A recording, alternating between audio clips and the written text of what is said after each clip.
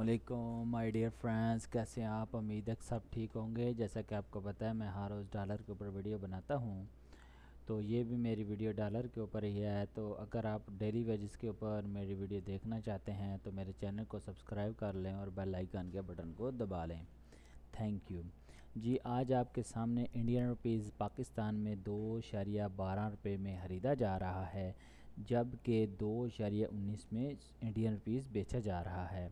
Singapore dollar آج ایک سو بارہ روپے میں خریدا جا رہا ہے، جبکہ ایک سو چودہ روپے پچاس پیسے میں بیچا جا رہا ہے۔ نیوزی لینڈ ڈالر آج اٹھانوے اشاریہ پچاسی میں خریدا جا رہا ہے، جبکہ نڑینوے اشاریہ پچپن میں بیچا جا رہا ہے۔ ہانگ کانگ ڈالر آج انیس روپے نوے پیسے میں خریدا جا رہا ہے، جبکہ بیس روپے پندرہ پیسے میں بیچا جا رہا ہے۔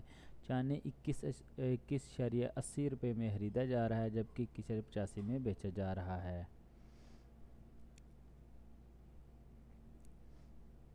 جی آگے آج جناب بحرینی دنار وہ آپ کے سامنے ہی ہے۔ چار سو تین میں روپے میں، تین چار سو تین روپے ساٹھ پیسے میں خریدا جا رہا ہے، جبکہ چار چار سو پانچ روپے ساٹھ پیسے میں بیچا جایا ہے۔ قطری ریال آج بتالیس پہ پچاسی پیسے میں خریدا جا رہا ہے، جبکہ ترتالیس پہ بیس پیسے میں بیچا جا رہا ہے۔ اور آگے آج جناب عمانی ریال آج چار سو چھ روپے میں خریدا جا رہا ہے، جبکہ چار سو آٹھ روپے میں بیچا جا رہا ہے۔ جناب، آگے آج جناب۔ کویتی دنار پانچ سو تیرہ روپے پچہتر روپے میں خریدا جا رہا ہے، جبکہ پانچ سو سولہ روپے پچیس پیسے میں بیچا جا رہا ہے۔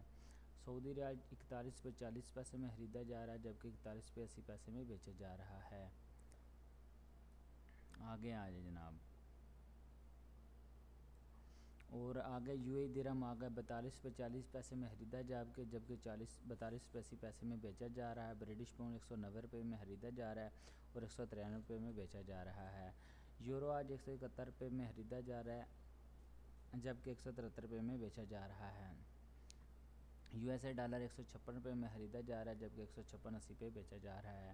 اگر آپ کو یہ میری ویڈیو اچھی لگی تو لائک اور شیئر کر دیں، کمنٹس کر دیں۔ تھینک یو فار واچنگ السلام علیکم ورحمۃ اللہ وبرکاتہ۔